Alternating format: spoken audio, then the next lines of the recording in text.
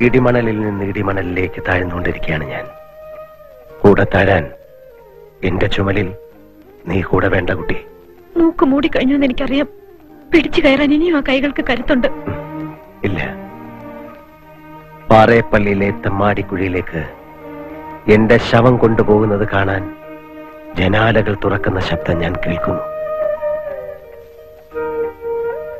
ഉപ്പുകല്ലിൽ നിന്ന കൂട്ടുകാരന് വെള്ളം കൊടുത്ത് എന്റെ തുളസിയെ വഞ്ചിക്കാൻ എനിക്ക് മനസ്സ് വരുന്നില്ല.